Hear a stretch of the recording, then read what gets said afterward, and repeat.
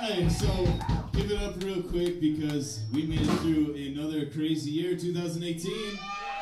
I mean, I'm pretty sure we got a couple more minutes, but I mean, that's one reason to cheers it up, so I'd like to thank you guys.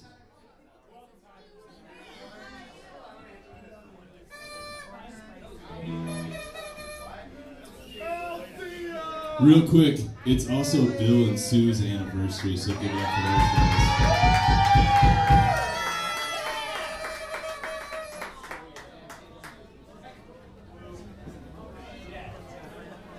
Give it up for her for putting up with his shit. And our shit too.